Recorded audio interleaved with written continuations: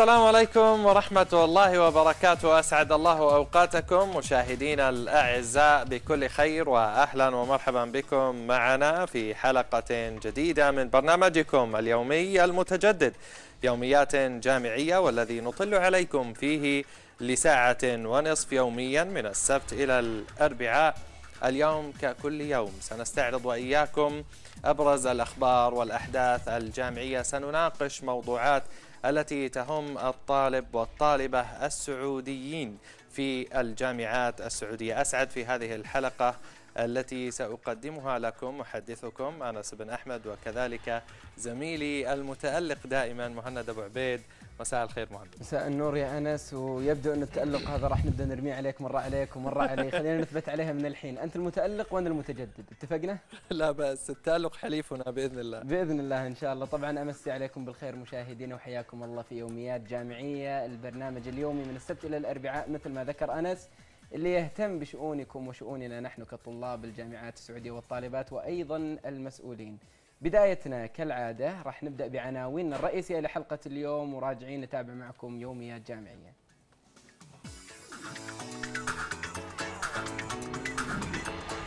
التعليم العالي يرعى حفل تخريج 1150 طالب وطالبة من جامعة المجمع. وفي حراك جامعة تبوك والخرسانة المسلحة. وفي مقال الأسبوع مع عابد خزندار. وقضية اليوم طلابنا وأمل الالتحاق بالدراسات العليا.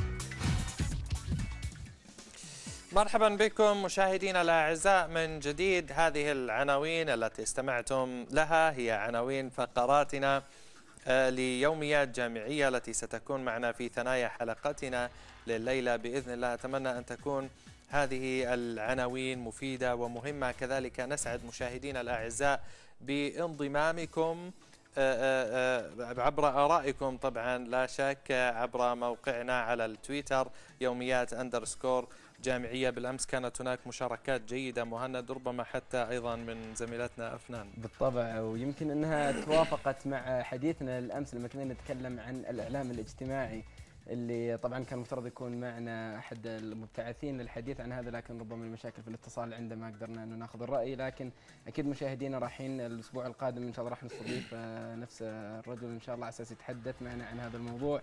ومثل ما ذكر أنس نسعد بآرائكم واقتراحاتكم في تويتر. أعطوا حلقة أعطوا يعني أعطوا رتم جميل للحلقة أمس يا أنس. جيد لا شك. بس أنا بسألك أول أنت بحثت عن الإعلام الاجتماعي أمس في الإنترنت أو دورت وش معناه وش. شوف أنا لأن أمس ما قدرنا نتكلم عن الفقرة صدقني رجعت للبيت وقلت إلا ابي اعرف وش الإعلام الاجتماعي. طيب. وفعلا طلع مثل ما توقعت آه، لها علاقة بتويتر وفيسبوك وشبكات التواصل الاجتماعي.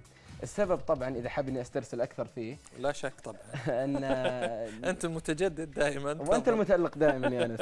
السبب طبعا لما بحثت إن تويتر وفيسبوك صار فعلا وطبعا جميع الشبكات الاجتماعية صار فعلا لها آراء مؤثرة بالنسبة للمجتمع. يعني صرت الآن تبحث عن المعلومة ممكن تتوجه لتويتر وفيسبوك قبل لا تنتظر جريدة. أو صحيح. تفتح أخبار. ممكن تجيك خبر إجازة مثل ما ينتظرون دائما عند الشاشة طلابنا خبر الإجازة. صار ممكن يأخذون الآن من تويتر وفيسبوك قبل لا يتم إعلانه. فصارت مصدر مهم للمعلومة مصدر مهم للتواصل.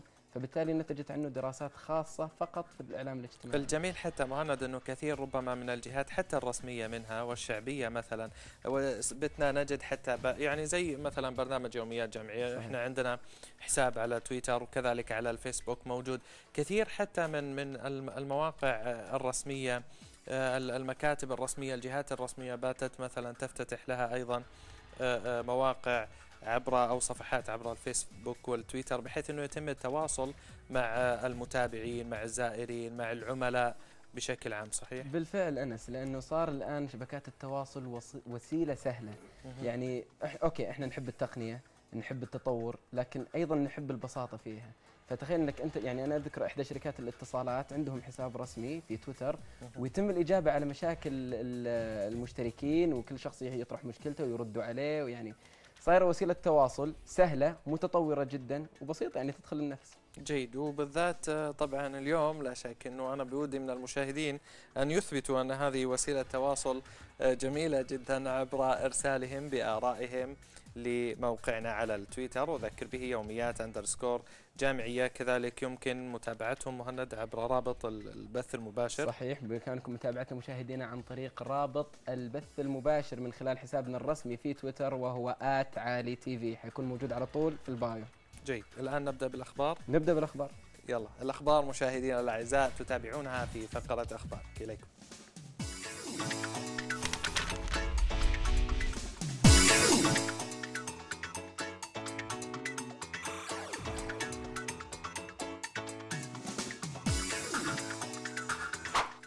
القرى تفتح أبواب التسجيل لدورة تأهيل المبتعثين والمبتعثات. فتحت عمادة كلية خدمة المجتمع والتعليم المستمر في جامعة أم القرى باب القبول في دورات اللغة الإنجليزية لإعداد وتأهيل طلاب وطالبات الدراسات العليا المرشحين والمرشحات للابتعاث. وستقام دورة الطلاب بالمدينة الجامعية بالعابدية. أما الطالبات فستكون في معامل كلية خدمة المجتمع والتعليم المستمر بحي الششة خلال الفترة من الثامن والعشرين من جماد الآخر وحتى الثامن والعشرين من شعبان من العام الجاري. وأوضح عميد كلية خدمة المجتمع والتعليم المستمر الدكتور ياسر بن سليمان شوشو أن هذه الدورات تهتم بتدريب وتأهيل طلاب وطالبات الدراسات العليا المرشحين للقبول في الابتعاث الخارجي موضحا أنها ستقام في ثلاثة أيام من كل أسبوع. الحبيب الوكالة تتعاون مع 55 جهة من القطاعين العام والخاص لتوظيف وتدريب طلاب الجامعة.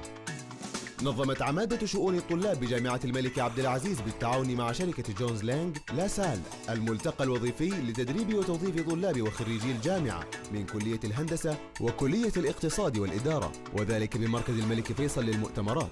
وأوضح وكيل عمادة شؤون الطلاب للخريجين الدكتور عبد الرحمن بن إبراهيم أن الوكالة أبرمت العديد من الاتفاقيات مع جهات حكومية وخاصة وتم بالفعل تدريب وتوظيف طلاب جامعة المؤسس إذ بلغ عدد الخريجين الذين تم تدريبهم وتوظيفهم خلال أربع سنوات الماضية إلى ما يقارب 25 ألف خريج كما بلغت عدد الجهات التي تتعاون مع الجامعة بهدف التدريب والتوظيف أكثر من 55 جهة حكومية وخاصة. جامعة شقراء تحتفل بخريجي وخريجات الدفعة الثالثة. تعتزم جامعة شقراء إقامة حفل تخرج الدفعة الثالثة لخريجي وخريجات الجامعة لهذا العام والذي سيكون برعاية مدير الجامعة الأستاذ الدكتور سعيد بن تركي الملا للاحتفاء بتخريج كوكبة جديدة من طلاب وطالبات الجامعة.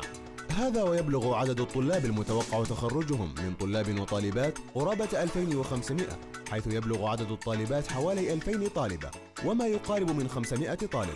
وسيقام الحفل يوم الخميس السادس والعشرون من الشهر السادس لعام 1433 للهجرة برعاية مدير الجامعة وحضور وجهاء وأعيان وضيوف المحافظة الكرام ليشاركوا أبنائهم فرحتهم في يوم تخرجهم. مجلس جامعة نجران يوافق على تعيين 35 معيدا وعضو هيئة تدريس. ترأس مدير جامعة نجران نائب رئيس مجلس الجامعة الدكتور محمد بن إبراهيم الحسن أمس بحضور الأمين العام لمجلس التعليم العالي الدكتور محمد بن عبد العزيز الصالح وأعضاء المجلس. وقال وكيل الجامعة للدراسات العليا والبحث العلمي أمين مجلس الجامعة الدكتور محمد بن سلطان العسيري أن المجلس ناقش الموضوعات المدرجة على جدول أعماله واتخذ جملة من القرارات حيالها حيث وافق على تعيين 31 معيدا وأربعة أعضاء هيئة تدريس وابتعاث 19 من المعيدين بالجامعة كما وافق على عدد من الخطط الدراسية للكليات. جامعة الطائف تحتفل باليوم العالمي للتمريض. احتفلت يوم أمس جامعة الطائف ممثلة في قسم العلوم التطبيقية باليوم العالمي للتمريض تحت شعار إغلاق الفجوة من النظرية إلى التطبيق. وتخلل الاحتفال عدة محاضرات لمستشارات وأكاديميين في التمريض. وقالت الدكتورة صباح أبو زنادة مستشارة التمريض ورئيسة المجلس العالمي للتمريض بالهيئة السعودية للتخصصات الصحية إن الهدف من مثل هذه المؤتمرات هو الاطلاع على المستجدات في مهنة التمريض ويتم تحديث المواضيع التي يتم مناقشتها في جميع دول العالم.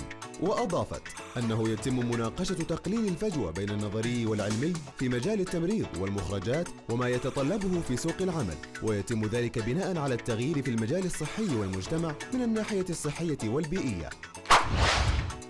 كرسي الأمير محمد بن نايف بجامعة الملك سعود ينظم ورشة عمل حول السلامة المرورية. نظم كرسي الأمير محمد بن نايف للسلامة المرورية بجامعة الملك سعود ورشة عمل حول دليل السلامة المرورية للطرق. افتتحها مدير جامعة الملك سعود الدكتور عبد الله العثمان بحضور مدير الإدارة العامة للمرور اللواء عبد الرحمن المقبل إضافة إلى عدد من أعضاء مجلس الشورى وقيادات المرور ومنسوبي الجامعة والمهتمين بالسلامة المرورية. وقال الدكتور العثمان إن الجامعة لديها من الخبرات الوطنية والخبراء العالميين في هذا المجال ما يؤهلها للنجاح متمنيا أن يتحول هذا الكرسي إلى مركز تميز بحثي في مجال تخصصه وأضاف إن الجامعة تتطلع إلى أن يكون الكرسي مشروعا وطنيا للسلامة المرورية في المملكة. وزير التعليم العالي يرعى حفل تخريج 1150 طالبا وطالبة من جامعة المجمع. برعاية معالي وزير التعليم العالي الأستاذ الدكتور خالد بن محمد العنقري. تحتفل جامعة المجمع اليوم الثلاثاء بتخريج الدفعة الثالثة من طلابها للعام 1432 1433 للهجرة والبالغ عددهم أكثر من 1150 طالب وطالبة. يمثلون عددا من كليات الجامعة المختلفة وذلك على مسرح المدينة الجامعية. وقدم معالي مدير الجامعة الدكتور خالد بن سعد المقرن شكره وتقديره لمعالي وزير التعليم العالي الدكتور خالد بن محمد العنقري لرعايته هذا الاحتفال وتشريف الجامعة بالحضور. معتبرا هذه الرعاية وهذا الحضور دعما كبيرا لجامعة المجمع ومنسوبيها ودافعا كبيرا لمزيد من العطاء. مدير جامعة القصيم يكرم الفائزين بجوائز التميز العلمي. كرم مدير جامعة القصيم الدكتور خالد الحمودي الفائزين بجوائز التميز العلمي للعام الخامس. وذلك خلال الحفل الذي نظمته عمادة البحث العلمي أمس الأول في قاعة الاحتفالات بمبنى إدارة الجامعة بحضور وكلاء الجامعة وعمدائها. وألقى عميد البحث العلمي وأمين عام جوائز التميز الدكتور يوسف سليم كلمة أكد خلالها أن العمادة تسعى لتطوير وتنشيط حركة البحث العلمي في شتى المجالات العلمية مشيرا أن الجائزة مرت بعدة مراحل فحص وذلك لاختيار البحث المميز. تخريج دفعة من كلية المجتمع والدبلوم الجامعي.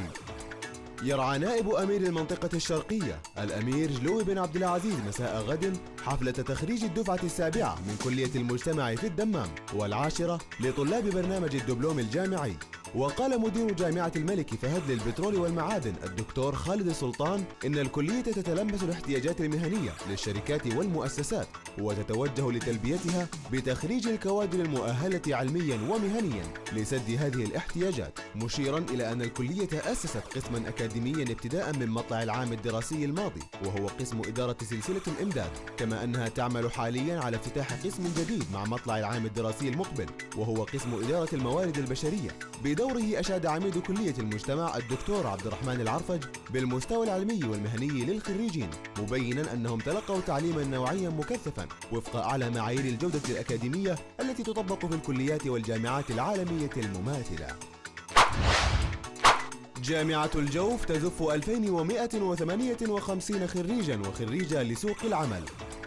يرعى صاحب السمو الملكي الأمير فهد بن بدر بن عبد العزيز أمير منطقة الجوف مساء اليوم بالمدينة الجامعية حفل تخريج طلاب جامعة الجوف والبالغ عددهم 615 خريجا يمثلون الدفعة السادسة من مختلف التخصصات. فيما ترعى حرم سمو أمير منطقة الجوف صاحبة السمو الملكي الأميرة سارة بنت عبد الله بن عبد العزيز حفل الخريجات الذي تقيمه الجامعة ل 1543 خريجة في مختلف التخصصات بعد غد الخميس. وتأتي هذه الرعاية تكريما للخريجين والخريجات خلال هذا العام الجامعي بفصليه الدراسي الأول والثاني. وثمن مدير الجامعة الدكتور إسماعيل بن محمد البشري رعاية واهتمام سمو أمير المنطقة بالجامعة ومتابعته المستمرة لسير العملية الدراسية فيها. ست ملايين لتجهيز كلية الهندسة في الليث انتهت جامعة أم القرى ممثلة في كلية الهندسة في محافظة الليث من اختيار مقر الكلية الجديد وتجهيزه بأحدث المعامل وتوفير القاعات الدراسية.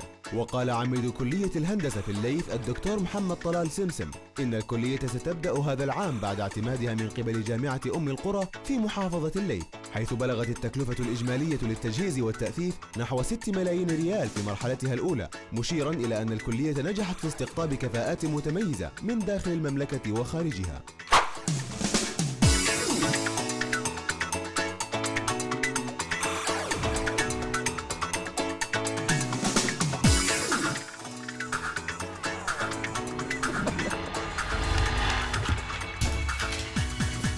حياكم الله مشاهدينا وشكرا جزيل الشكر لك يا ماجد البلوي على هالأخبار الحلوة اللي تتحفنا فيها يوميا. جهدك يعني تشكر عليه بصراحة. وفي خبر أيضا حابين نضيفه.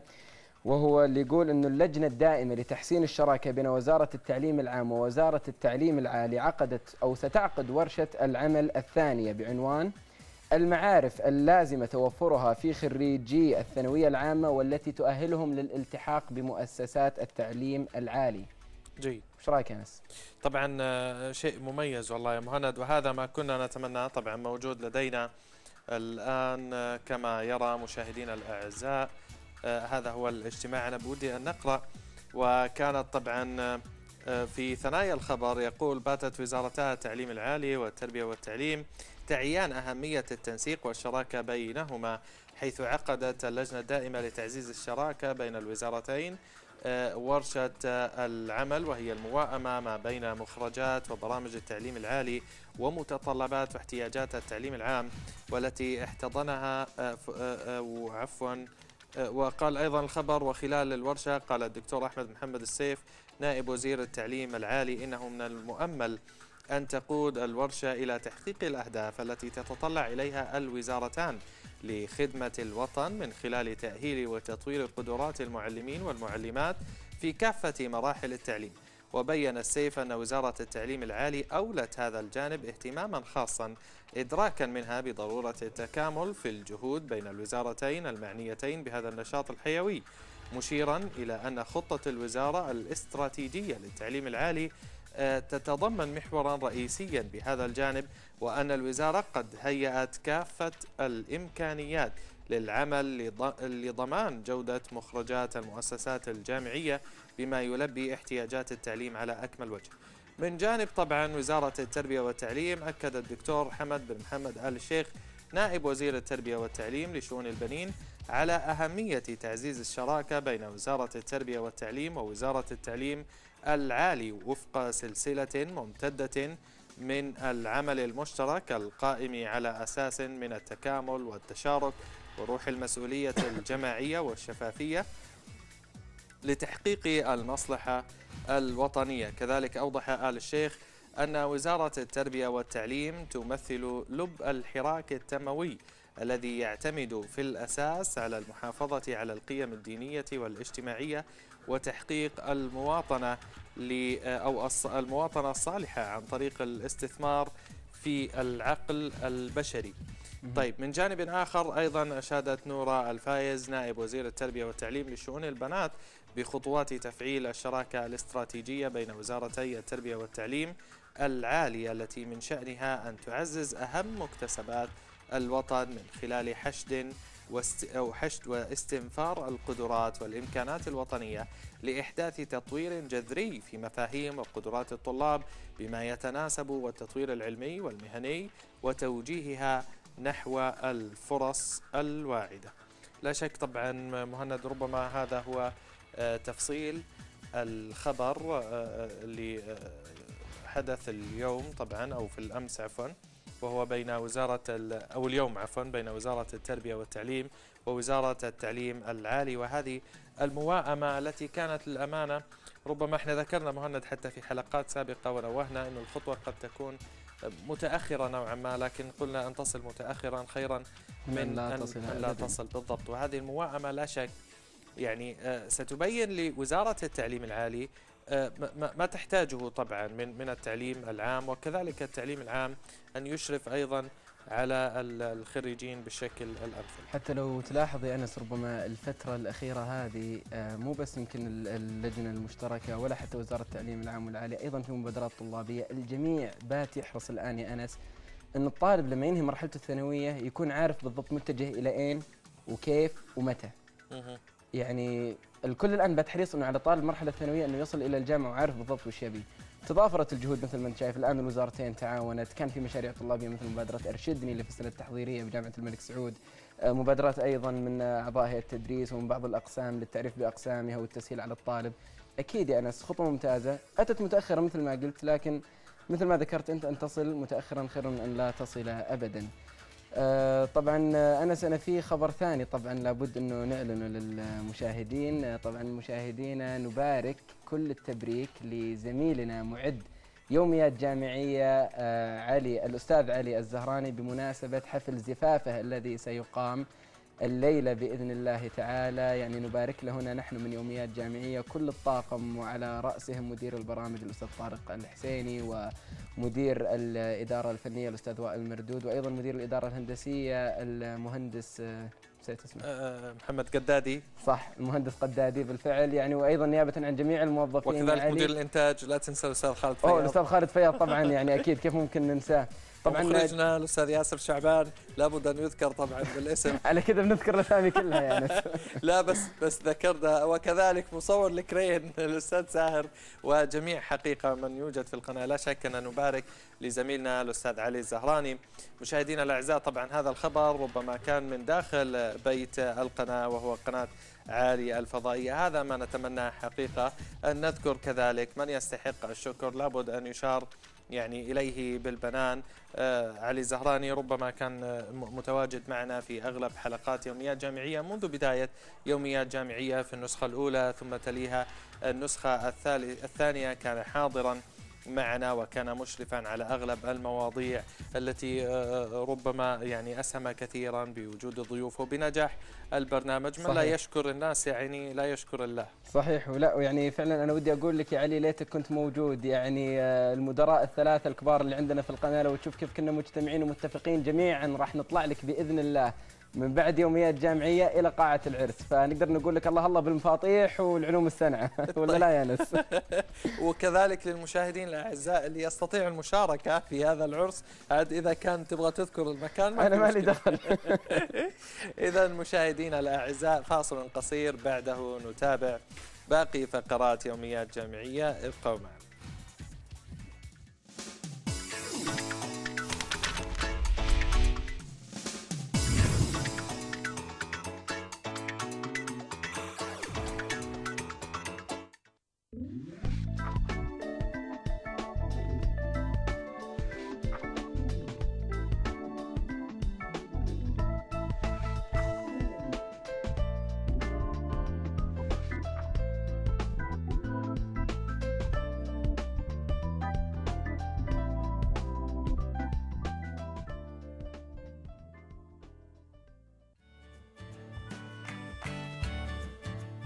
مدن صنعت التاريخ واستحقت أن تكون منارة بعلومها ليقصدها طالبو العلم أينما وجدوا. نصحبكم في كل حلقة لتزوروا مدينة جديدة وتتعرفوا على تاريخها وأبرز معالمها. نلتقي بالطلاب السعوديين المتواجدين فيها ليحكوا لنا عن حياتهم وتجاربهم الدراسية. من كل مدينة على قناة عالي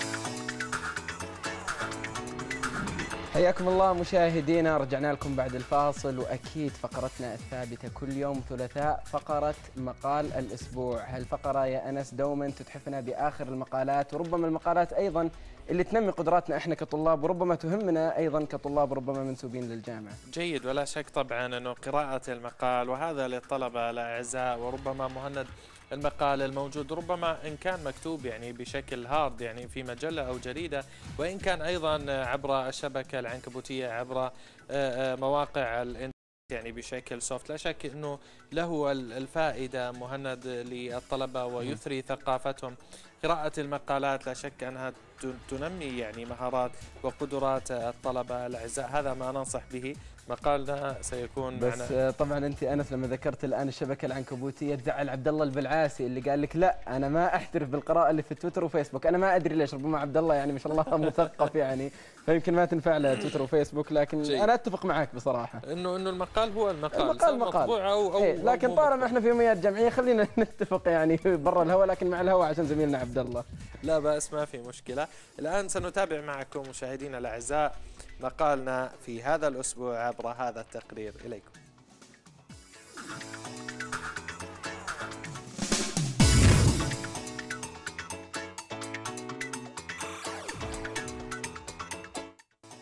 مقال اليوم لعابد خزندار نصف خريجات الحاسب بدون عمل. وفقا لصحيفة الرياض العدد الصادر في 8 5 2012 أظهرت نتائج بحث متخصص قامت به كل من ليلى أحمد الصفدي ورنا عبد الله أبو نفيسة بقسم تقنية المعلومات في جامعة الملك سعود حول واقع عمل المرأة السعودية في سوق الاتصالات وتقنية المعلومات في السعودية شملت أكثر من 300 خريجة. خلال الخمسة أعوام السابقة أن نسبة البطالة وصلت إلى 46% من خريجات تخصصات الحوسبة وتقنية المعلومات بدرجة البكالوريوس. وعن مدى ارتباط الوظيفة بالتخصص فقد أظهرت الدراسة أن 61% منهن يعملن في وظائف ذات ارتباط وثيق جدا بمجال الدراسة بينما 3% يعملن في مجال لا يرتبط بمجال التخصص. وقد أوضحت الدراسة وهذا هو المهم أنه لا توجد أي معوقات قانونية أو تشريعية أو مهارية لعامل المرأة في قطاع الاتصالات وأن المرأة السعودية غائبة بمحض إرادتها. إذا فنحن إزاء موقف لا نستطيع فيه أن نلجأ للحجة التي أصبحت واهية وهي أن سبب البطالة أو على الأقل أحد أسبابها هو عدم موائمة مخرجات الجامعة لسوق العمل. كذلك لا نستطيع أن نزعم أن بيئة العمل وما فيها من اختلاط هي التي تعوق عمل المرأة. ذلك أن التي تعمل على الحاسب تستطيع أن تؤدي عملها في مكان معزول عن الرجال بل تستطيع أن تؤدي هذا العمل في بيتها. وهذا يجرنا غصبا إلى البحث عن أسباب عزوف المرأة عن العمل في هذا التخصص الذي يسرت له والذي يلائم طبيعتها. ولن يتعبنا البحث فهو واضح كالشمس في رابعة النهار وهو تدني الرواتب بالإضافة إلى عدم الأمان الوظيفي وهو سمة من سمات القطاع الخاص. وبالطبع هناك أجانب يقبلون العمل بالرواتب المتدنية وطول أوقات العمل وهذه كلها أمور يمكن علاجها والتعامل معها إذا صحت النية وانعقد العزم. وهذا بمقدور وزارة العمل ولن تعجز عنه. فهل تفعل؟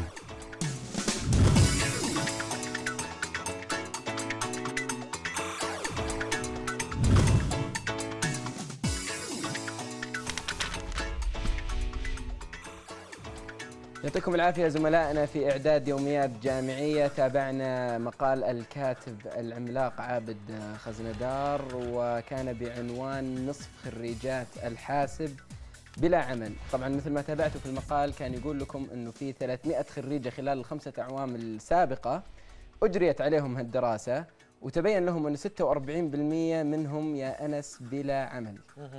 نعم.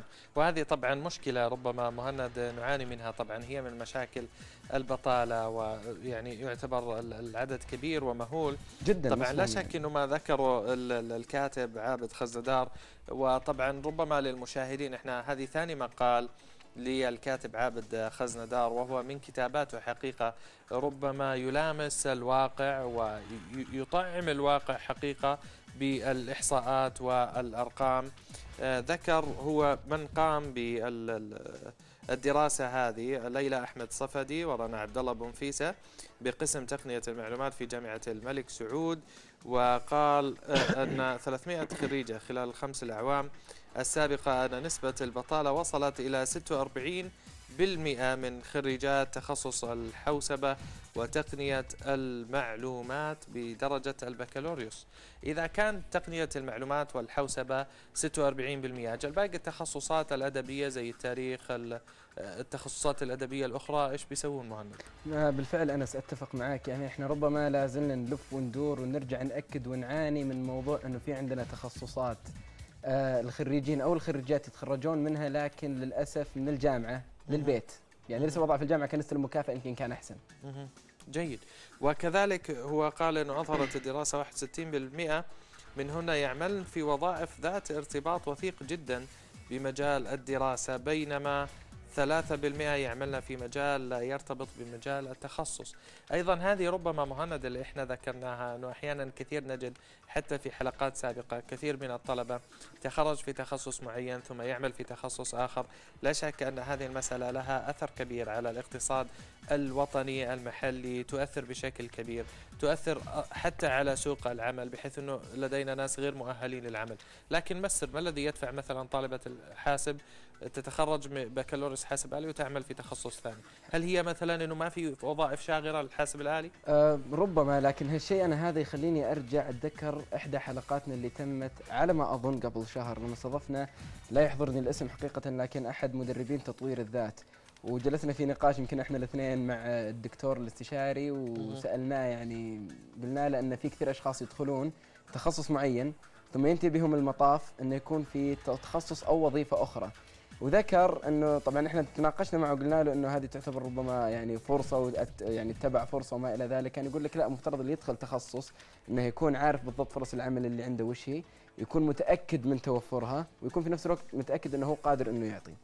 تعقيبا الآن طبعا الموضوع اللي أنت طرحته هو احتمال يكون أحد شغلتين إما إنه فعلا ما في وظائف وقد ما يكون هذا هو السبب الرئيسي قد يكون المخرجات التعليمية ما هي بالحيل وهذه تحتمل أحد خيارين إما إنه فعلا الطالب أو الطالبة دخلت تخصص غير مناسب أو إنه ربما يعني ما أعطاها حقها. وقد تحتمل يعني السبب الأخير إنه يعني أطراف يعني أو حاجات أخرى يعني غير معلنة يعني.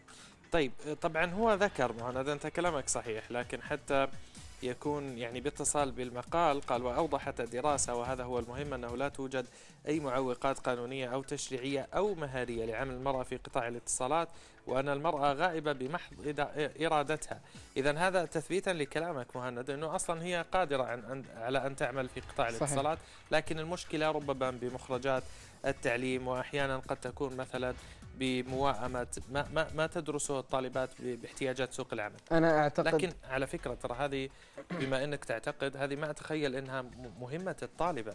يعني هي الآن باتت مشكلة كما ذكرنا المشاهدين الأعزاء. أنا أذكر حتى كان هنا قبل فترة يمكن أنت ما كنت موجود كنت مشغول كان وكيل جامعة اليمامة. وكذلك قبلها كان آه، عميد القبول والتسجيل في جامعة الملك سعود الدكتور العثمان.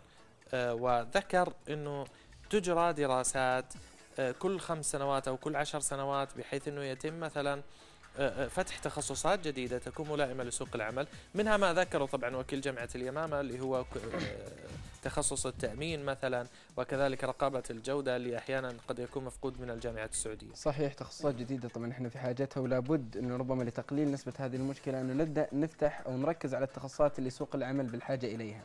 لكن في نفس الوقت أنس أنت ما تقدر أنك تغصب الطالب يدخل تأمين وهو مثلا يبغى على سبيل المثال طب بشري بسبب أنه مثلا الطب اكتفى والتأمين لا يزال موجود لا فلا بد يصير فيها موازنة هو يعني. هو يكون في نصيحة يعني صح. مهند هو لا شك إنه الرغبة هي التي تلعب دور لكن أين دور الجامعات مثلا في نصيحتهم للطلبة بأن والله توجهوا إلى التخصص الفلاني سوق العمل يحتاجه بشكل كبير هذا هو بالفعل أنس اللي إحنا في حاجته، أوكي هم وفروا مثلا مبادرة إرشدني، صار في ورشة عمل اللي علقنا عليها اليوم مشاهدينا. بس مبادرة إرشدني يمكن طلابية هي مهند. تحدد بالفعل هي تحدد التخصص اللي يناسبني أنا، لكن هل هي تدل أيضا سوق العمل؟ هل هو بحاجة إلينا أم لا؟ ربما هذا ينقص بعض المبادرات حتى. أنا أتخيل لو في مثلا كانت دراسة من عمادة القبول والتسجيل طبعا لسوق العمل. بحيث إنه والله نجد ما هي التخصصات التي يحتاجها سوق العمل بشكل كبير. يعني زي مثلا تخصص رقابة الجودة غير موجود لدينا ترى حتى في جامعات كبرى يعني. صحيح. وهذا الأمانة شيء محزن يعني لأنه رقابة الجودة يعني في الدول الغربية والدول المتقدمة يعتبر من التخصصات وكذلك الشركات المتقدمة حتى لدينا في المملكة العربية السعودية الشركات الكبرى فقط هي التي لديها أقسام رقابة جودة. أما لو تتجه إلى الشركات الصغيرة مثلا ربما لا تجد. صح. وذلك بناء على على شح التخصص وشح الخريجين. بالفعل. وأنا أعتقد اعتقاد شخصي يا أنس أنه الكاتب آه، عابد خزندار أتوقع خلال الشهور ربما السنين القليلة المقبلة حيكون عنده نفس العنوان. ربما بنسبة بطالة تفوق الستور يمكن هالمرة وصلت 90% عارف أي تخصص؟ تخصص العلوم آه، آه، آه، أو القانون بالنسبة للطالبات. أنت عارف أنس فتحوا الآن التخصص الجديد هذا لكن هل إحنا صحيح. عندنا ممارسة لهالتخصص إلى الآن ما في.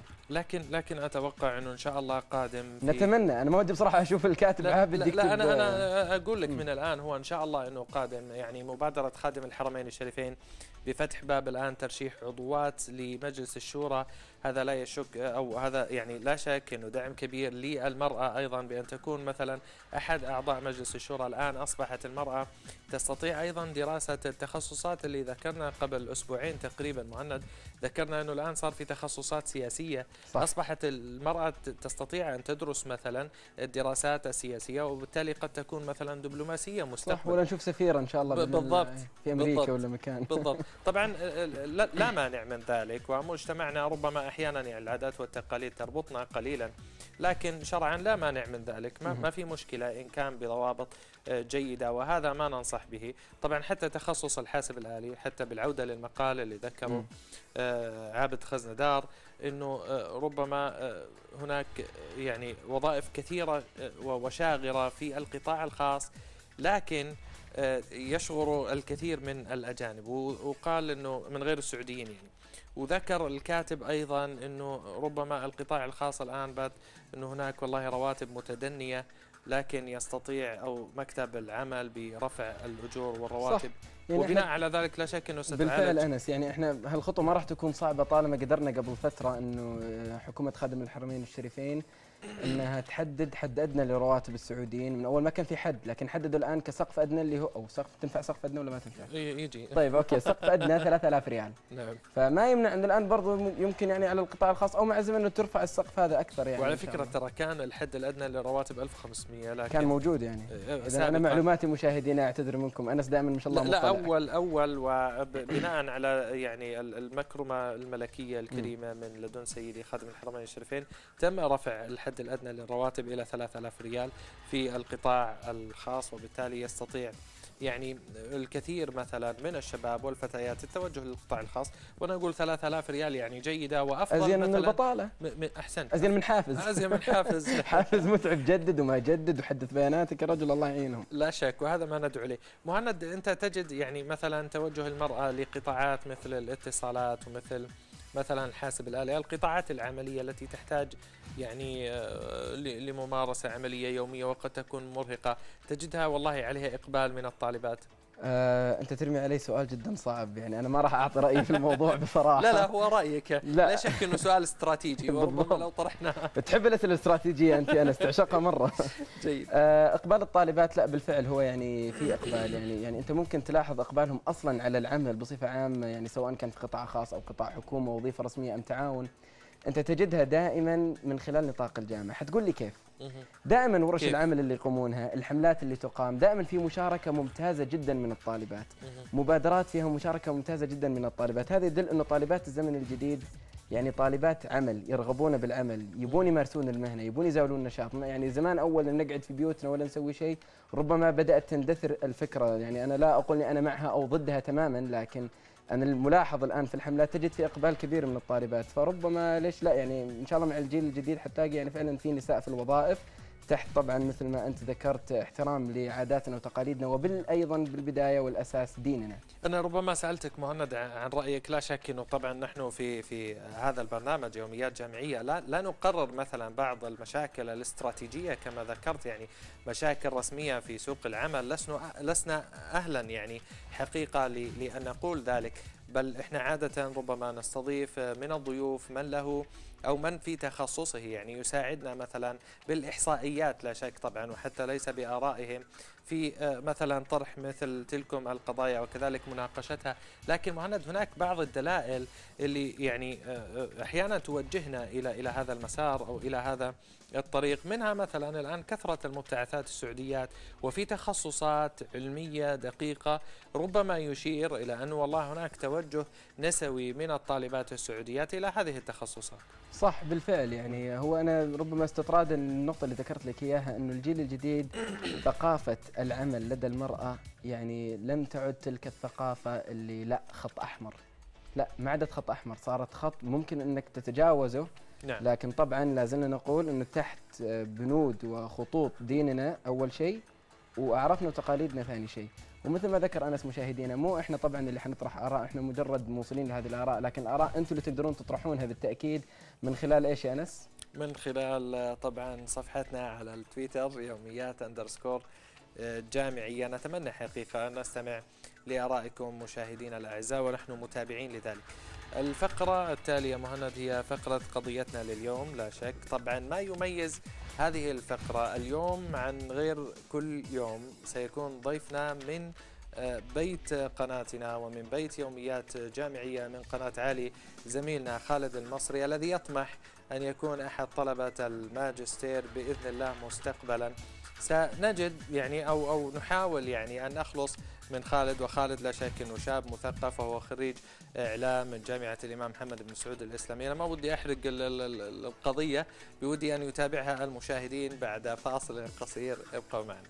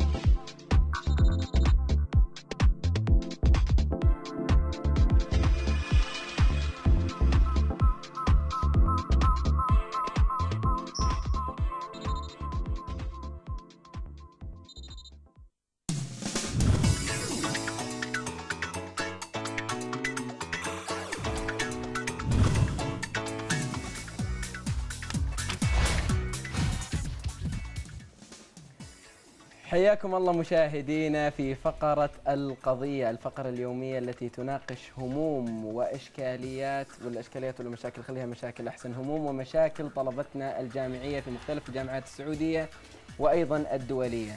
طبعا مثل ما ذكر أنس ضيفنا اليوم مميز واللي يزيد تميز أنه من ضمن طاقم يوميات جامعية كبير مراسلين قناة عالي في يعني على وجهة نظري الشخصية الأستاذ خالد المصري. حياك الله يا خالد.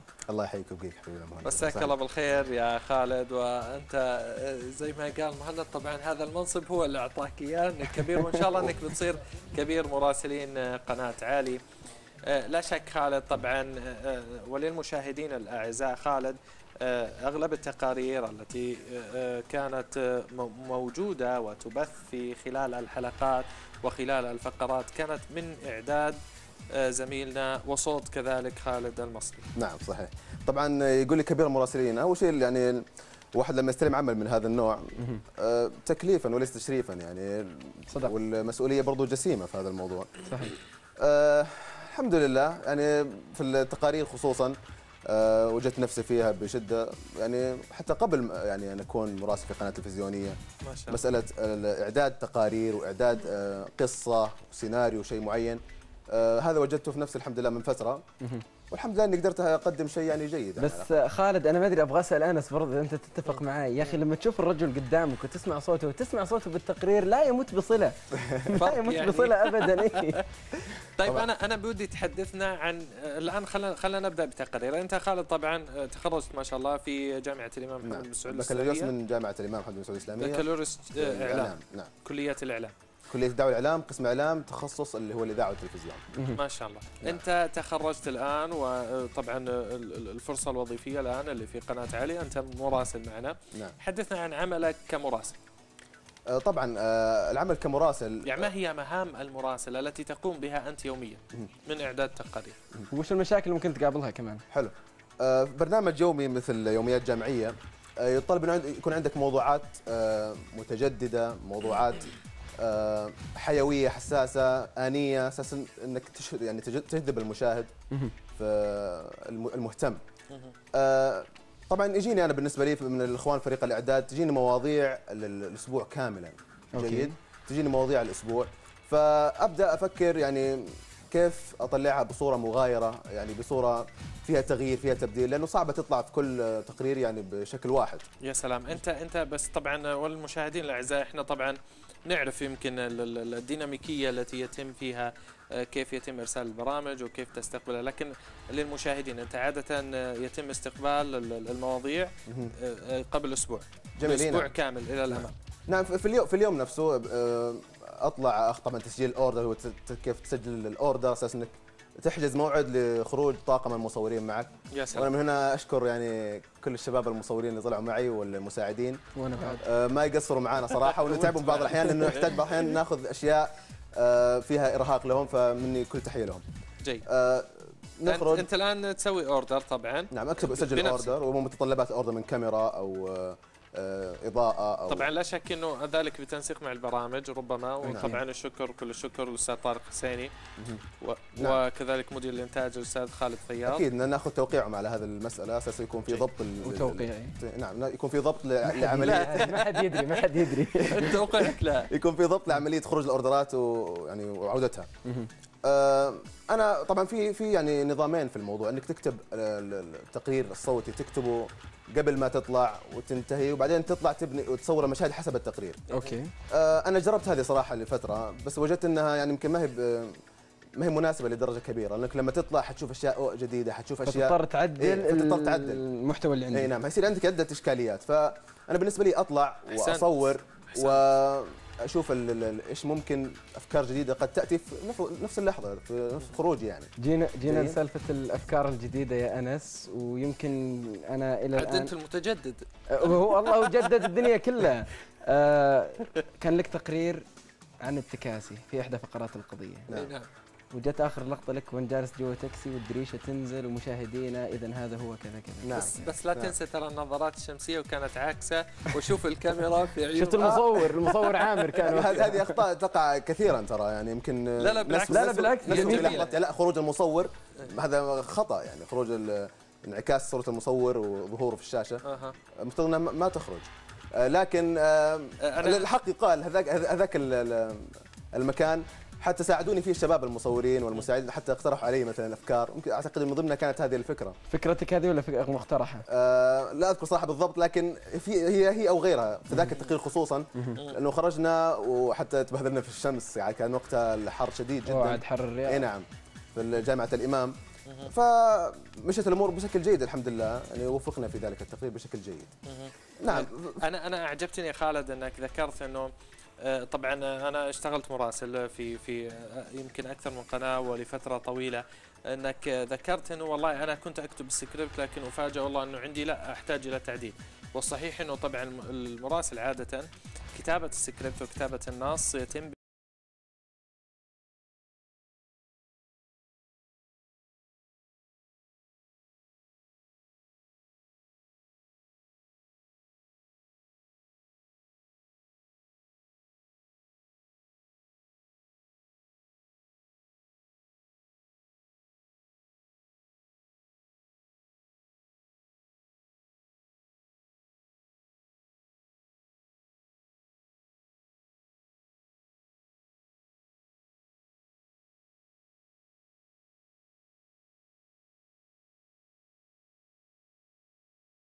بعضها وضع المؤثرات الافكتس عليها طبعا يكون أيضا تسجيل الصوت لا أنسى تسجيل الصوت آه، وأنت ما شاء الله الصوت. ترى مهند خالد مبدع في تسجيل أي أنا الصوت. بقول. للأمانة يعني بصراحة يا خالد أنا دائما أسمع تقارير اللي يقول لك وقد عبر رئيس مدري إيش كذا كذا بالله أعطينا سمعنا واحدة سمعنا. سمعنا لا لا بحرج على بحرج على الهواء اليوم. سمعنا طبعا أنت مهند جزاك الله خير كل ما تقابلني بالله أعطينا واحدة. لا عطنا واحدة. عطنا مشاهد. ناظر هالكاميرا هذه يا خالد وعطنا مقطع. طيب آه، خلنا اقرأ لنا شيء. نطلع نص من لأنه أنا أبغى أثبت بس مشاهدين أبغى أثبت لكم إنه فعلا خالد المصري صوته على الطبيعة مختلف تماما عن صوته في التقارير. آه، طيب مقال آه، عابد خزندار هذا اخذناه قبل شوية. عطنا- جيد. ممتاز. طيب. طبعا قلتها كالتالي. أها. وفي مقال اليوم نصف خريجات الحاسب بدون عمل. وفقا لصحيفة الرياض العدد الصادر في, في الثامن من الشهر الخامس لعام 1400 إيش فيك تضحك؟ لا لا روح روح روح طيب. روح. أظهرت نتائج بحث متخصص قامت به كل من ليلى أحمد الصفدي ورنا عبد الله أبو نفيسة بقسم تقنية المعلومات في جامعة الملك سعود حول واقعة عمل المرأة السعودية في سوق الاتصالات وتقنية المعلومات في السعودية. ما ابي شاء ابي أبي اسمع إلى. آخره. ما شاء الله. ما شاء الله. لا بس فعلا الصوت يختلف. أنت ربما يعني تعلي الطبقه أو أو تصلح في صوتك. طبعا في في عدة أداءات تسوي يعني ايكولايزيشن صح؟ في بالضبط. في عدة أداءات منها بصوت الطبيعي ممكن أحيانا يعني تكون زي ما تقول فخم طبقة الصوت تطلع ثقيلة. آه، مثلا وفقا لصحيفة كذا عارف. يكون في تغيير حسب يتطلب حسب متطلبات ال- النص اللي قدامي والفقرة اللي بسويها أو التقرير اللي أنا بسويه بعد الهوا طبعا عشان ما نستهلك وقت البرنامج أنا بحاول أجربها. طبعا ما أقدر أقولها على الهوا الحين أخاف أقولها ويفصلني طارق فخليها يعني بعد الهوا نجربها. بعدين طبعا أنتم قاعد ما شاء الله طول الفقرة مدح فيني وطبعا لا هذه فقرة لا يفوت- القضية. يعني لا يفوتني في هذه اللحظة يعني, يعني آه، اوجه كامل الشكر الجزيل لأخوي مهند و...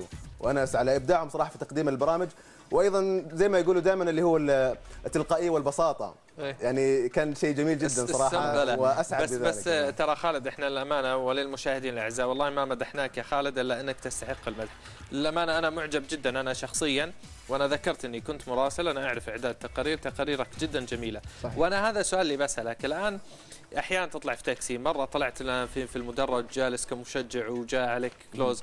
هذه الأفكار كيف تجيك؟ والله غالبا من وحي اللحظة. وغير كذا غير كذا يمكن المشاهدات لما الواحد يكثر من يعني أنه يطالع ممكن أفلام أو برضو حتى التلفزيون يعلم.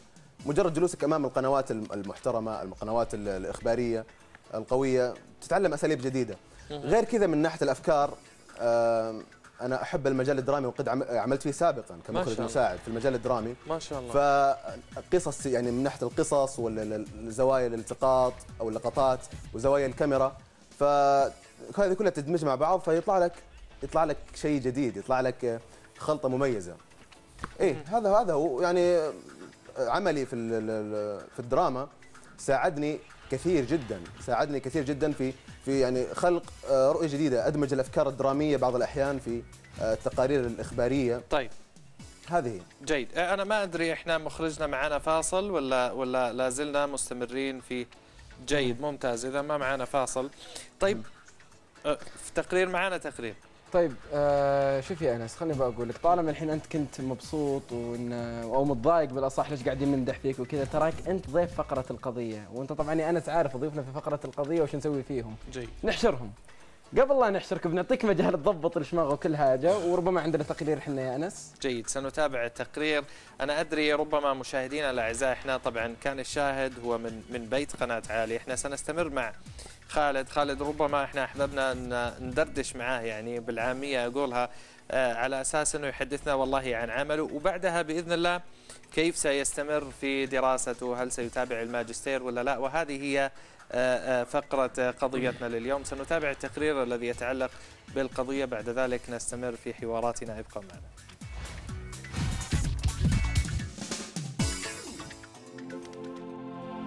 هموم الطالب أشبه بالإعصار الحلزوني. تبدأ بسيطة ثم تزداد تعقيدا كلما تقدم الطالب في مسيرته نحو طلب العلم. وسبب هذا التعقيد هي المعوقات والعراقيل التي تقف في وجه الطالب.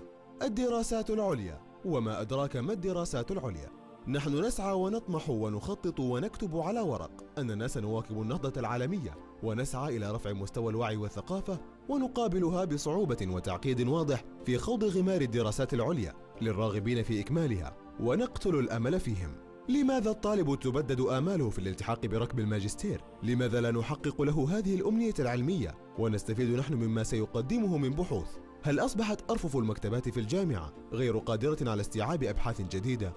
لماذا اضطررنا أبناءنا إلى ما يعرف بالهجرة الأكاديمية حيث أن هناك الكثير من الجامعات لا تشترط معدلات عالية لإكمال الماجستير؟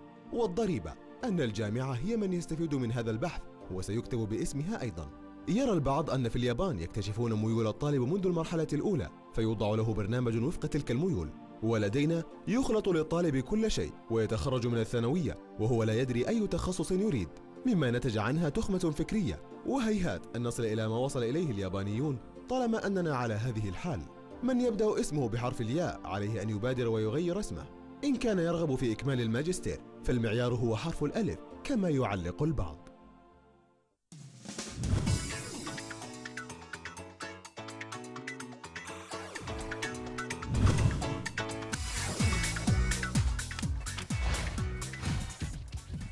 مشاهدينا كان هذا التقرير اللي أعد لنا زميلنا خالد المصري لفقرة القضية اللي مثل ما ذكر فيها أنس هي عبارة عن رحلة إكمال الماجستير. طبعا مثل ما إحنا عارفين الكثير مننا كطلاب وربما حتى طالبات بات عندهم حلم الحصول على رسالة الماجستير. لإكمال الدراسة طبعا والحصول على شهادة في الدراسات العليا ربما من بعدها الدكتوراه. لكن الحصول على الماجستير بات الآن يشكل عقبة لبعض الطلاب. ربما الجهة الحاضنة للرسالة يمكن الطالب ما يقدر يحصل على قبول معين. ربما ظروف عملية تمنع الطالب أنه يكمل في هذا المجال. ربما أيضا أحيانا ظروف مادية. يعني الظروف لو الأسباب لو قعدنا نذكرها حتكثر وتطول وربما ما نقدر نصل إلى حصر لها. لكن بالتأكيد الأسباب كثر والنتيجة واحدة عدم التمكن من إكمال أو الحصول على شهادة الماجستير.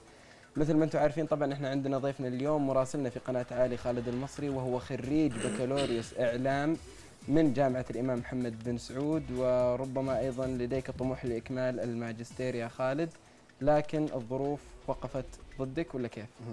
طبعا بداية آه، آه، صراحة الموضوع يعني كبير جدا ومتشعب. صحيح. أسباب عدة. عموما أنا خريج إعلام من جامعة الإمام محمد بن سعود الإسلامية قسم الإعلام. ما شاء الله. بتكلم عن تخصصي. يعني أنا ساءني صراحة قبل ما أدخل الجامعة لما رحت أقدم على التخصصات.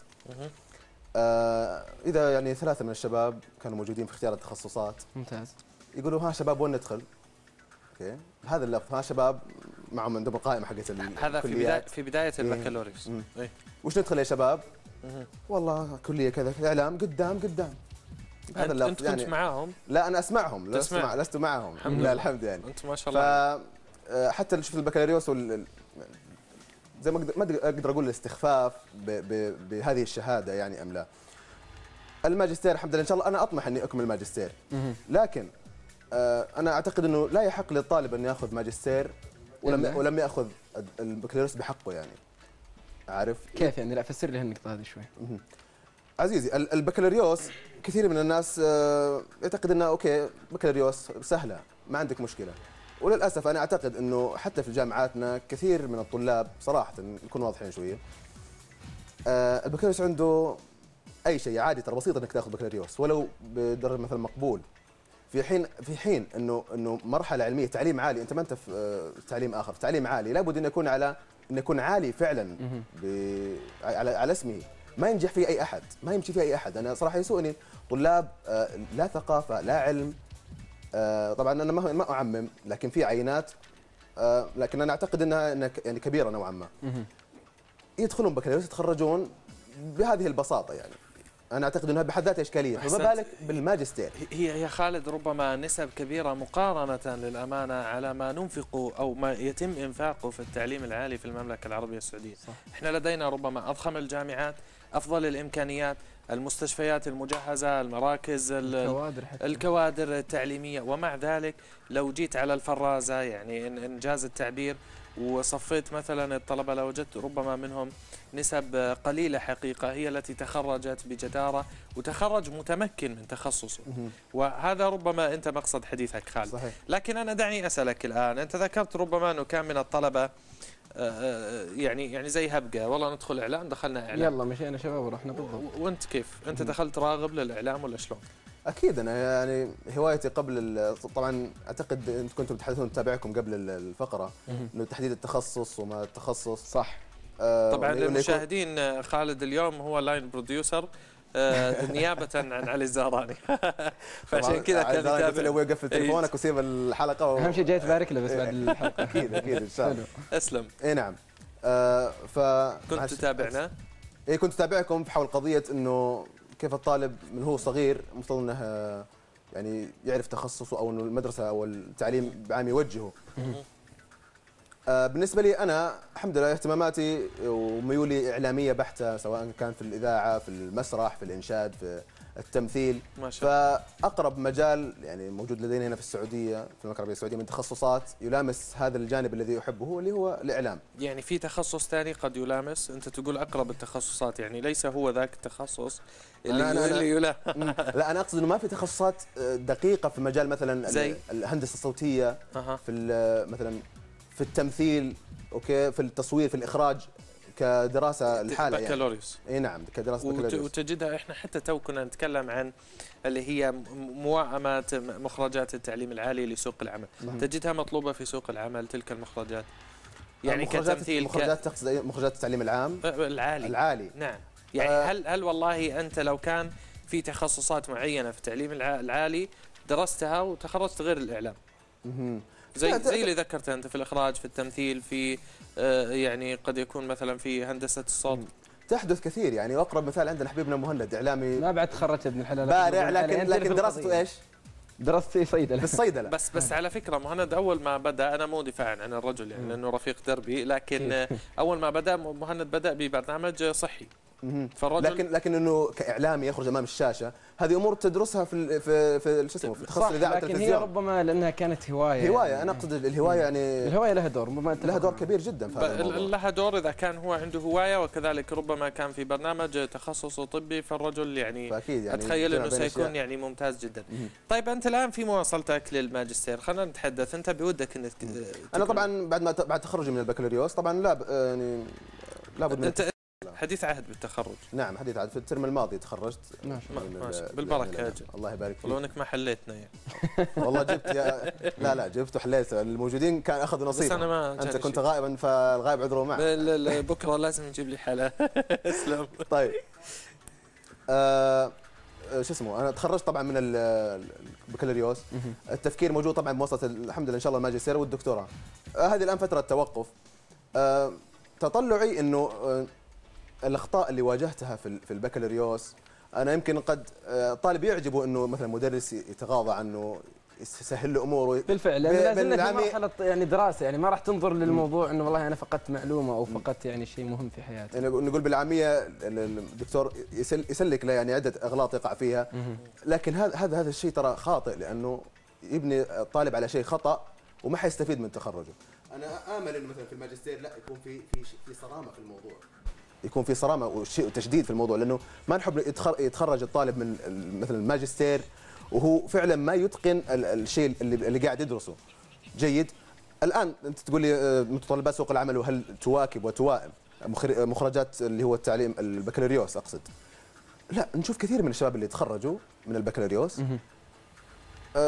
مع حقهم في الوظيفة وإنهم يتوظفوا الا أن نسبة قليلة جدا تستحق فعلا إنها توظف وإنها تع- تعطى الثقة. لأنه يا رجل ما خرج بذيك الحصيلة القوية ما خرج ما خرج بذاك بذيك القوة العلمية. أتفق معك ربما يا خالد لكن إحنا يعني وإن كان موضوعنا كان يتكلم عن الماجستير أنت ربما أفهم من كلامك إنك تقول إذا كان غير مهيئ للعمل ربما راح يكون غير مهيئ إنه يحصل على ماجستير. هذا أنت اللي تحاول ترمي له؟ لا هو هو إذا إذا إذا ما كان مهيئ من خروجه من ال- من البكالوريوس إنه يعمل فما إنه بالك يعمل في التخصص اللي يتخرج منه. فحيتورط في في الماجستير لأنه هناك في في يعني صعوبة أكبر وأنا أذكر قد سويت طيب. تقرير مم. طيب تفضل تفضل لا أبي أسمع لا- تقارير أنا لأنه في في الموضوع الشهادات ال- ال- المزورة مهم. يعني يمكن من يصدم بالواقع إنه صعوبة المجال وصعوبة فعلا تقديم بحث قوي يعني يرش يعني يستحق به انه ينال درجة الماجستير فيلجأ إلى طرق ملتوية أخرى لأنه يواجه صعوبة في في في في تحصيل العلمي وفي وضع يعني دراسة أو خطة بحث قويه أتفق معك خالد ولو تصدق يا أنس يعني اليوم أنا كنت. مجتمع مع أحد أعضاء هيئة التدريس عندنا في الكلية وكنت جالس معه وكان يقول لي يلا يا ولدي شد حيلك نبيك تتخرج. فأنا قلت له والله إن شاء الله يا دكتور على إيدك وكذا وسألني قال وش تبغى تصير؟ فشرحت له طموحاتي في الحياة. عموما مالك في الطويلة طبعا وصلنا إحنا في النهاية إنه جلس يقول لي لك رغبة إنك تكمل دراستك وأنا قلت له يا دكتور للأمانة يعني رحم الله امرئ عرف قدر نفسه. الآن ربما في المرحلة الحالية ما أفكر إنه أكمل دراستي. فتعقيبا على نقطتك النقطه اللي بوصل لها قال لي أنا كان في أحد الطلاب موجود عندي يكمل دراسة الماجستير كنت كان هو المشرف على رسالة الماجستير. فكان يقول لي الطالب كان غير متفرغ يعمل متزوج مرة عنده نشاط هنا مرة يشتغل في صيدلية هنا مرة مش عارف إيش فيقول وصل في النهاية إنه فعلا يعني أنا ما أبغى أستخدم نفس التعبير ولا خلينا نستخدم نفس التعبير اللي ذكره سرق بحث من أحد الأبحاث اللي مو هو اللي سواها وقدمها وحصل على الماجستير وانصاد فربما هذا الشيء يثبت انصاد كيف يعني؟ يعني ت- الشخص اللي سوى. البحث اكتشف إنه نشر باسم شخص آخر أوه. فهنا قال ويت يعني وقف عند حدك شوي بحثي هذا. فتمكن إنه يثبت إنه هو بالفعل ليس بحث وبالتالي ال- أكيد. درجة ماجستير بالتأكيد هو. هو يعني ممكن لل- للانشغال وأيضا النقطة ذكرتها اللي هو إنه يصدم بممكن صعوبة ال- الواقع صعوبة ال ال إنه فعلا هذه مرحلة غير البكالوريوس. ممكن الدكتور يمشيك تنجح بأي طريقة. لكن لكن في الماجستير أعتقد إنه آه، الأمور لابد تكون أقوى من كذا. نشفنا ريقك يا خالد ولا لسه؟ لا لا بالعكس روح. ما عندك مشكلة. طيب حنروح لكن مشاهدينا قبل لا نستمر حنطلع الفاصل وحنرجع نتابع في قضيتنا مع خالد المصري ابقوا معنا.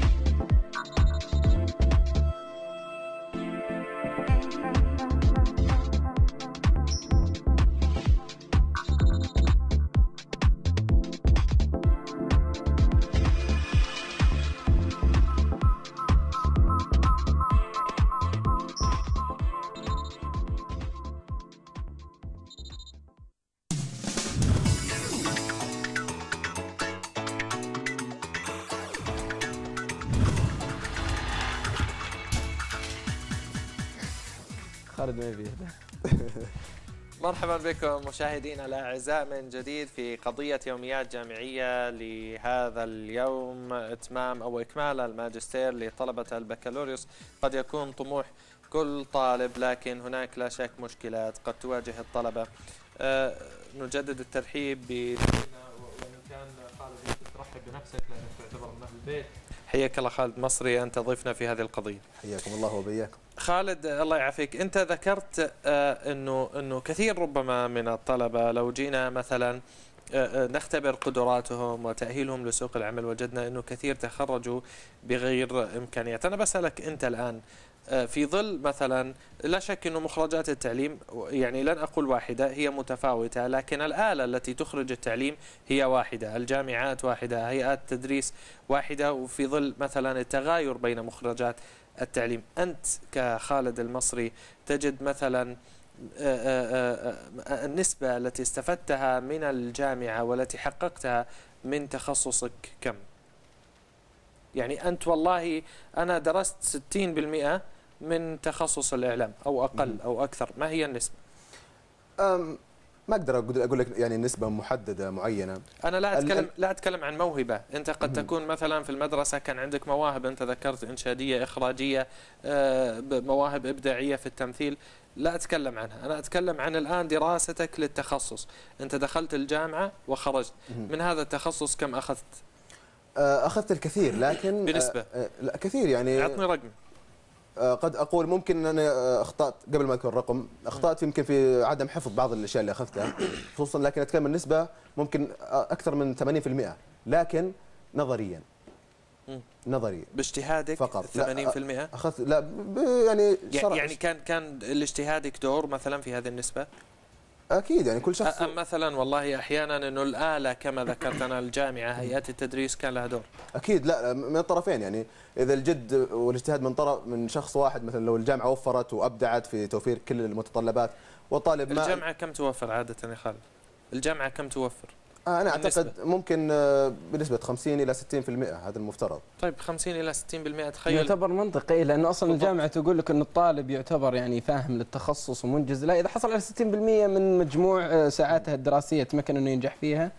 أو مش إنه ينجح يعني إنه يجيب من مجموعة 60% من الدرجة في موادها الجامعية يعتبر يعني إنسان فاهم وملم بالموضوع يعني. بالضبط. هذا هو. لكن أنا وبالتالي كثير ربما من الطلبة كما ذكرت أنت قد يكون مؤهل إنه يكمل ماستر.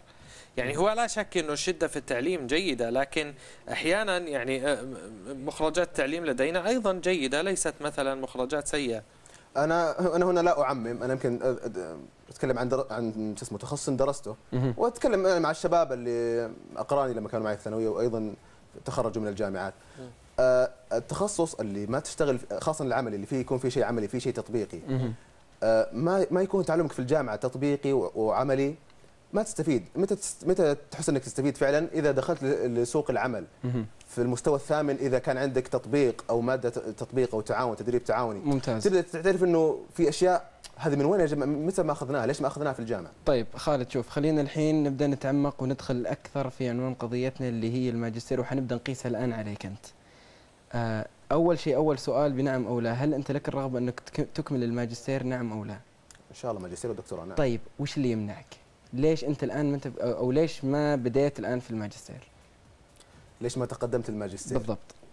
آه ممكن رغبة في استراحة قصيرة مع إنهم ينصحوني إذا يعني كنت تريد أن تكمل دراستك فأكملها دفعة واحدة متتابعة استراحة محارب يعني آه هم هم يعني يقولون استراحة مراحب محارب. مراحب محارب لكن لا ينصحون بها لانها ممكن تعطيك لك نوع آه، خدران شوي إيه، يكون. الخبرة. راحة كذا بعد دراسة طيب لكن ال- صح المدى الماجستير أعتقد سنتين أو أربع سنوات ما أدري ثلاث سنوات تعتمد على حسب الدولة طبعا. تخصص. نعم آه يعني تفكر بالابتعاث مثلا في الماجستير أتكلم شخصيا الآن هي أنا شخصيا إحنا شخصياً. عليك أكيد في أكثر من شخص حالته نفس حالتك يعني. أنا إن شاء الله أفكر يعني بالإعادة وإكمال الماجستير والدكتوراه بس في الابتعاث مثلا تفكر إنها تكون خارج السعودية؟ أكيد أكيد بودي جدا لأن هناك آه، أعتقد إن الوضع حيكون مختلف من الناحيه العملية. وش تخصص بس؟ العملية في الإعلام. في الإعلام. أنت آه، اشوفك تركز على العملية والنظرية. آه، يعني وكأن مثلا دراستك في البكالوريو في البكالوريوس لم تكن تعجبك يعني من. ناحية عملية. هي الحق يقال لا, لا تعجب الكثير لأن آه، ما ما تعطيك فعلا ما هو موجود في سوق العمل. وإن كانت ال- الجامعة فيها فيها آه، يعني الأدوات اللازمة نوعا ما كنت نط- نطمح أكيد للمزيد خصوصا في مجال الإعلام وش وش, وش. اللي يحتاجه سوق العمل من ناحية عملية ولم تدرسه الجامعة؟ الكثير يعني ال- يعني تلاقي طالب مثلا تقول له مثلا انشا برنامج كامل أو مجموعة طلاب إنهم ينشئوا من تصوير ومن إخراج ومن إضاءة. هي آه، نتف بسيطة تأخذها في هذا الم- هذا المجال خصوصا. نعم. لمن يحب هذا المجال. إنما أقول إنه في الجامعة آه، تركيزها بس يكون بس نظري نظري. الإعلام لا تدرس الفنيات يا يا هي تعطيك. الأساسيات ربما يعني. بالضبط الأساسيات النظرية يعني لا تدرس مثلا فنيات الإضاءة الإضاءة تحتاج مثلا فني والإخراج وال صح مهم. ولا لا وأنت ذكرت لا وربما حتى الأساسيات يعني أكيد أنا متأكد انه حركة مثلا آه، التاكسي اللي كنت راكبه أنا متأكد إنك ما درستها في النهاية هي ربما تعطيك أساسيات والابداع ياتي عليك الآن أنت يعني يصير دورك فيه. ما اختلفت في الأساسيات لكن يمكن من وجهة نظري بما إن الموضوع نتكلم شخصي شخصي. عن موضوع شخصي يمكن أنا أحب ال ال ال ال الحركة عموما. أحب ان التطبيق العملي احب ال- أني أخرج بالكاميرا بكل حرية أني أجول وأصول. في في مرحلة البكالوريوس يعني خصوصا طبعا لا شك إنه الجامعة وهذا نقول كذلك لطلبتنا الأعزاء إنه كثير من التخصصات ربما تدرس في الجامعة بشكل نظري وإن كان حتى هناك مثلا عملي لكن حتى ما يقوله الأكاديميين أو الأكاديميون عفوا أن الممارسة هي التي تكسب الطالب آه، الخبرة بعد التخرج. لا شك إنه في مرحلة الجامعة لا يستطيع مثلا الطالب أن يكتسب مثلا الخبرة التي اكتسبتها أنت الآن في عملك من من قناة عالي، يعني في أمور مثلا كثيرة أنت ما كنت تعرفها يمكن من خلال دراستك للجامعة، لكن بعد ممارستك مثلا ومزاولتك لمهنه الإعلام في قناة عالي أصبحت تكتسب كثير من من آه، ال- الخبرات والأمور، صحيح؟ صحيح هذا لا لا, لا يعني مستحيل أختلف معك فيه لأنه ي- يصب في كلامي الأول إنه ت- التطبيق العملي مهم جدا. هنا يعني تدخل في تفاصيل ال- ال- الموضوع تفاصيل الإعلام. تحتك مع ناس آه، جو العمل كامل. آه، الناس كلها بتشتغل إعلام في في كإخراج في تصوير في إعداد في تنسيق. هذه أمور لا تتوفر آه، بشكل سهل جدا في الجامعة. طيب خالد إحنا مخرجنا طبعا ياسر شعبان الأستاذ ياسر شعبان يقول إنه طبعا الطالب الأفضل له إنه يتدرب خلال فترة الدراسة الجامعية أنت قضيت أربع سنوات ربما في الجامعة وهي الفترة النظامية خلينا نقول. فهو طبعا يقول الأستاذ ياسر أنه لو تدربت أنت مثلا في صيف كل سنة على أقل تقدير مرة مرتين ثلاثة أربع مرات حتتدرب حتتخرج حيصير عندك المعلومات الأساسية وحيصير عندك الخلفية التدريبية. طبعا أنا ما راح أناقش وأكيد راح تقول لي أنك أنت يعني تؤيد الشيء هذا ولا؟ صحيح. طيب آه ليش الطلاب مثلا ما أو أول شيء في البداية هل أنت سعيت بالشيء هذا سويته ولا لا؟ أكيد حتى أصلا أذكر في المستوى الأول كان الدكتور عبد الرحمن بن نامي الله يذكره بالخير يحضنا إن نلتحق من الآن. كان ذاك الوقت يقول من الآن تبحثوا عن قناة عن صحيفة عن كذا. أساس تكون في خبرة عملية مرافقة وموازية للتعليم النظري إنه يكون في تطبيق عملي. طيب أجل على كذا برضه يا خالد دامك أنت تنصح والاستاذ ياسر نصح أيضا أنا أنصح مشاهدينا إحنا عندنا الأستاذ ياسر شعبان هنا ما شاء الله دائما جاهز. أي طالب حاب إنه يتدرب أو يحصل على الخبرة من الأستاذ ياسر الأستاذ ياسر جدا متعاون في هالمجال. توجهوا لقناة عالي وإن شاء الله الأستاذ ياسر ما راح يقصر صح يا انس أكيد ما حيقصر بفلوس طبعا. جيد. طيب آه الآن ما الهاجس الذي ربما قد ينتابك قبل الإقبال على الماجستير؟ يعني مسألة التخصص أتخيل بالنسبة لك ما شاء الله محسومة. أنت الآن قررت أني والله أنا أصلح للإعلام وأنا أبغى يعني أرغب بالإعلام لكن هل هناك مثلا هواجس معينة اسم الجامعة أحيانا؟ آه غالبا الهاجس آه من أين أبدأ؟ آه أين بداية الطريق؟ مثلا لو تسألني الآن تقول لي وين الحين بتقدم على الماجستير وين تروح؟ يمكن أنا ما أعرف صراحة. لكن هذا ربما حال أي طالب يعني. هذا هو إنك تروح وتسأل آه تروح تسأل تستفسر آه شباب قريبين سنا من عمرك يعني آه من اللي سبقوك بسنة بسنتين. تسالهم تتواصل معهم تعرف كيف الطرق النظامية للموضوع. آه تخوض غمار التجربة يعني بحماس وأمل كبير يعني. يمكن على كذا أجل يا أنس إحنا محتاجين مبادرة ارشدني عالي للدراسات العليا على كذا عشان الواحد يعرف كيف إنه ممكن. صحيح لا شك. وقد يكون في طبعا يمكن يمكن أنا ألام لأني ما بحثت هذا في هذا الموضوع طيب قبل ذلك. خالد أنت جيد. ما استفسرت مثلا من أحد دخل والله ماجستير في الإعلام ربما أصدقائك أو في في ماجستير من من مواد أخرى. هذا لا شك إنه يعين. يعني لا شك إنه سيساعدك يعني. صح. صراحة أنا ما سالت صراحة. لا لم أسأل احدا. أنت اشتغلت في عالي وجلست وخلاص نسيت الدنيا. لا أنا أذكر في أحد تقاريري قابلت أحد زملائي في الثانوية يدرس الماجستير. ما شاء الله. فنسال عن الأخبار وعن الأحوال. ف يعني باين من وجهه إنه لا في في شغل في في كد وتعب في الموضوع. فان شاء الله نطمح إننا نسير على نفس الخطى إن شاء الله. بطريقة جميلة. ممتاز. آه طيب هذا بالنسبة للمادة وبالنسبة لاسم الجامعة. أنت كذلك ربما ذكرت إنك ترغب بالابتعاث. أي دولة ما تعرف وأي جامعة ما تعرف. لا لا لا لم ابحث صراحة. لم تبحث وهذه مشكلة هذا يعتبر طبعا من ضمن العوائق تقصير. يمكن. لا حتى لو ما كان التقصير هي ربما في عنوان حلقتنا إنه إحنا وش العوائق اللي تمنع الطالب من إكمال الماجستير.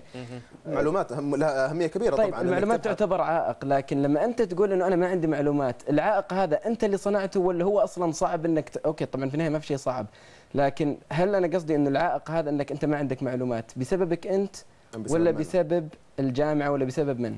بس هو طبعا اللي أعتقد إنه الطالب في هذه المرحلة يعني لابد أن يعتمد على نفسه اولا وأخيرا. يبحث بنفسه. الجامعة ان ارتأت أن تكون مميزة مثلا أو أن تسبق غيرها من الجامعات أن تقدم للطالب الخيارات المتاحة أن يعني إن كانت راغبة طبعا كما قلت في التميز أنها تقدم للطالب الخيارات يعني تفتح له الطرق تدله وترشده على الخيارات المتاحة. ترى إنها أساسية لابد تكون موجودة يا خالد. والله نأمل. بس بس دقيقة أنت تقول الجامعة تدل على الطرق أنت ما رحت للجامعة أصلا تستفسر إذا في طرق ولا لا أو عندهم مثلا أرشدني كما ذكر مهند ولا لا. لا أنا أشكر مثلا يرسلون لك رسالة خالد؟ لا إنه يكون في مثلا تعال قدم يقولون لك تفضل. لا إنه يكون في ملفات تسلم للخريجين مثلا لها فيها معلومات كافية أو بروشورات ربما يعني. هذه أمر بسيط على الإنترنت بعد يعني. بعد التخرج من البكالوريوس؟ نعم نعم. طيب أنت عند التخرج. دخلت مثلا هو طالع من الباب يعطوه الملف. أنت لسه خالد ربما ترغب لكن إلى الآن لم لم تقدم مثلا على خطوة حتى الرغبة والله بالبحث. لا لم لم أقدم صراحة. نعم وبالتالي هذا يعتبر تقصير. إحنا لا نلوم فيه الجامعات لا شك إنه الجامعات هنا غير غير مقصرة. كل شخص مسؤول عن نفسه أكيد يعني. اذا كان يرغب يعني بشكل جاد وحثيث ويسعى فعلا إلى اظن نعم. إنه يتخرج من البكالوريوس يكمل ماجستير. طيب. هذا لابد أن يبحث قبل ما يتخرج أصلا. طيب خالد آه أنت قلت لي إنك قابلت زميلك اللي كان في الثانوية ويبدو إنه يكمل الماجستير الآن طبعا نتمنى له كل التوفيق. اللهم آمين. آه لكن عفوا بس أذكر اسمه حبيبنا عتيق الدوسري. الله يوفقك يا عتيق.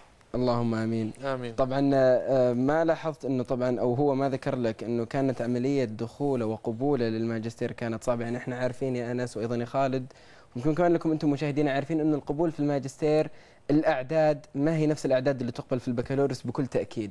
فهذا يدل إنه يعني العدد مقنن ويعني يتم اختياره بعناية فائقة. فربما تكون هذه أحد العواقب.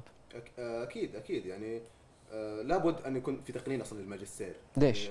إنه يدخل الطلاب كما يدخل لا لا لا، ليش ليش؟ ليش لازم في تقنين الماجستير ليش أنا أمنع مثلا حقي كطالب إنه أكمل رسالة الماجستير؟ يعني لا يدخل إلا من يستحق أقصد. ي- توضع يعني شروط و بس بس خالد صارمة خالد صارمه لدخول الماجستير. خالد أنا حقول لك حاجة. عفوا. قبل ما تكمل لأنه طيب. ما نبغى الناس تطلع من الماجستير زي ما طلعت من البكالوريوس طيب خالد أنا أتفق معك تماما لكن إذا الجامعات وضعت الشروط الصارمة هذه أنا رأس مالها خمسين ألف ريال أطلع أمريكا أجيبها غصب وأجي. في النهاية هناك القبول غالبا يكون اعتمادا على المادة قبل ما تكون اعتمادا على بس شوي 50 ترى يمكن أكثر. ما يخالف هي على الترم يعني. الترم. يترك المجال ويعني يبقى من لا مو يترك يعني. المجال لكن يفتح العدد أكبر يعني. أيضا يعني أنا أبغى أمارس حقي إني أحصل على شهادة دراسة جميل. عليا أنا أنا ما أمنع إذا كان مثلا التقنين حيمنع ناس مستحقة لا هذا خطأ طبعا. يعني أفرض قدمنا اياك على الماجستير في الإعلام أنت قبلوك وأنا ما قبلوني. ليه يا أخي؟ طب أنا بصير زميل دربك برضه حتى في لا الماجستير أفصل ما حنروح أمريكا. طبعا هي بناء على تخصص ربما البكالوريوس هو يستطيع يعني متابعة دراسته فمثلا يمكن الصيدلي ما يستطيع متابعة لا لا لا هو الماجستير. بإمكانك إنك تتابع لو إن شاء الله في آه، عل- علم البترول يمكن ما عندك مشكلة يعني بس. تخيل هذه هذه هي المعلومة حتكون آه، هذه منك عاد لا لا أنا أنا على مسؤوليتي الشخصية لكن حيكون حاجة غلط بصراحة إنه صيدلي ويتخصص مثلا ماجستير في هندسه بترول أو حاجة زي كذا يعني أنا أتخيل إنه صعبه جدا أنا حتى سألت أنا إني لو كنت بكمل ماجستير إعلام في أحد الجامعات فذكروا لي في جامعة الإمام طبعا هو التخصص الأساسي آي تي يعني يعلنها للمشاهدين ذكروا لي إنه يضاف علي مواد يعني آه، بحيث إني أستطيع ممارسة الإعلام. أو أو ماجستير الإعلام فتصبح ثلاث سنوات هي سنتين يبدو لي في جامعة. الإمام. فلا شك إنه في في لها قيود معينة صح لكن في النهاية على فكرة يبقى في الماجستير من يثبت جدارته فقط صح. يعني تأكد تماما إنه لن يبقى في الماجستير إلا من يثبت جدارته أما أما مثلا أن يكون داخل والله بناء فقط الحصول على شهادة وهو لا يستحقها آه، ما هي ما هي مثل البكالوريوس آه، ابدا؟ لن يبقى لن يبقى. صحيح. خالد إحنا نبغى نسوي شيء مميز اليوم مثل ما نسوي دائما مع مشاهدينا. التختيم اليوم عندك. مهند متجدد ويحب التميز. إيه. تناظر هالكاميرا طبعا تبعتك وختم لنا الحلقة. طيب ليش لا؟ بسم الله. أعزائي المشاهدين هنا نصل وإياكم إلى ختام فقرتنا لهذا اليوم وختام حلقتنا ليوميات جامعية على أمل أن نلتقي بكم في الحلقة القادمة. كونوا على خير.